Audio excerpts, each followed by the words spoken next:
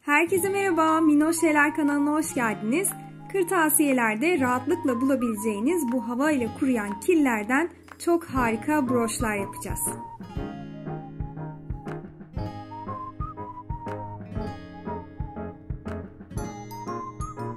Kilimiz hava ile kuruduğu için hava almayacak şekilde güzelce kapatalım ve ardından başka çalışmalarda kullanalım.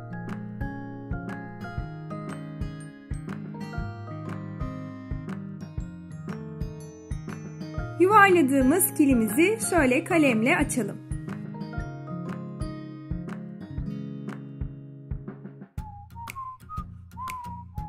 Herhangi bir kapağı kalıp olarak kullanarak güzel yuvarlaklar elde edelim.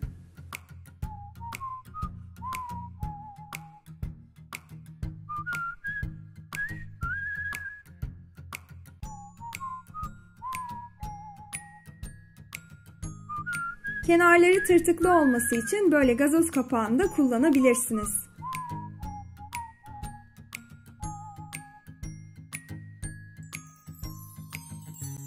Ve böylece harika yuvarlaklar elde etmiş olduk.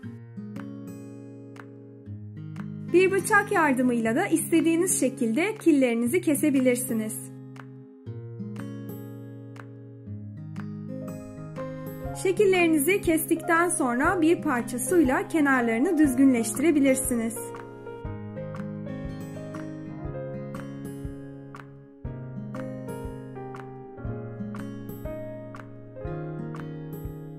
Bu işlemi bütün parçalarımıza yaparak daha pürüzsüz bir görünüm elde edelim. Yuvarlak parçayı ikiye keserek karpuz dilimleri yapabilirsiniz.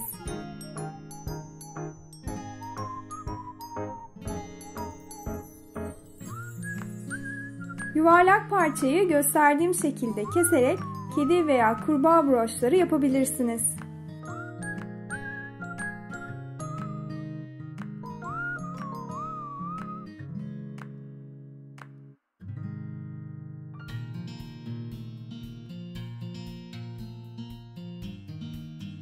Şu an yumuşak olan killerimizi bir gün beklettikten sonra bu şekilde sertleşiyor. Böylece de artık boyama kısmına geçebiliriz. Şimdi sizlere killeri boyamak için kullanabileceğiniz farklı boya malzemelerini göstereceğim. Bunlardan ilki keçeli kalemle killerinizi rahatlıkla boyayabilirsiniz.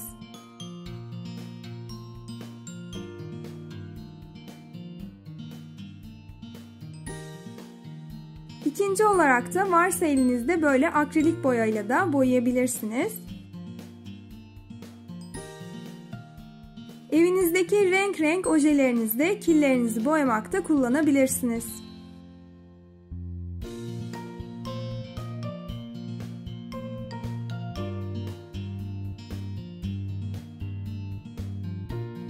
Ve son olarak ben guaj boyayı da kullandım. Guaj boyayı da rahatlıkla çalışmalarınızda kullanabilirsiniz.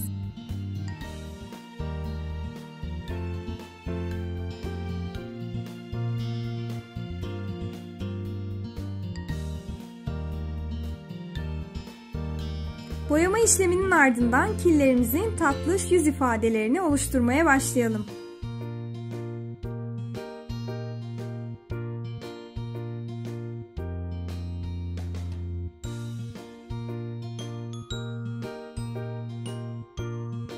Özellikle bu kurbağa broşları çok moda, onlardan da hemen yapmak istedim.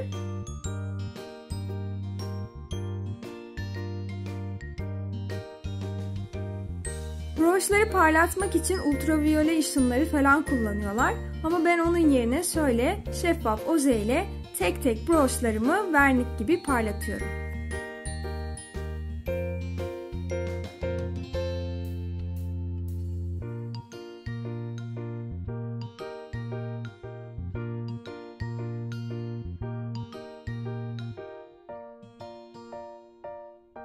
Tabii ki şeffaf ojeniz yoksa arkadaşlar bakın bunu boyamadım.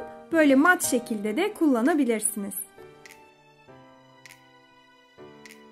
Ve sıra geldi broşlarımızı takma aparatlarımızla birleştirmeye. Bu kısımda da güçlü bir Japon yapıştırıcısı ya da silikon tabancasından yararlanabilirsiniz.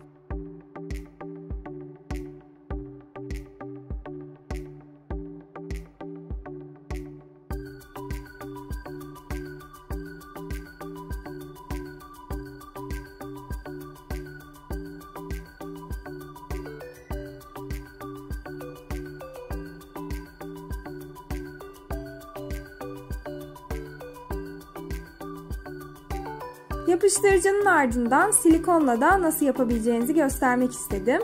Yine aynı şekilde silikonumuzu sıkıyoruz. Sonra da filketemizi oraya yerleştiriyoruz.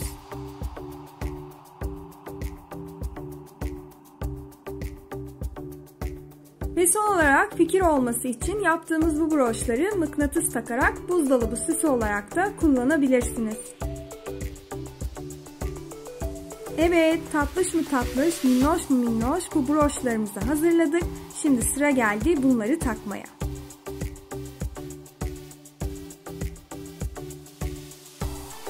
Broşlarınızı çantalarınıza takarak böyle daha sevimli bir görüntü elde edebilirsiniz.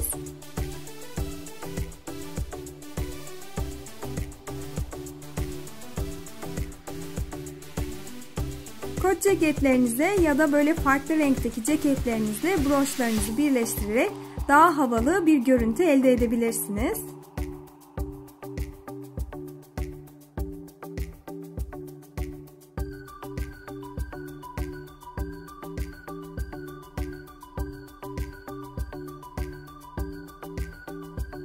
Ya da böyle şirin buzdolabı süsleri yaparak sevdiklerinize hediye edebilirsiniz.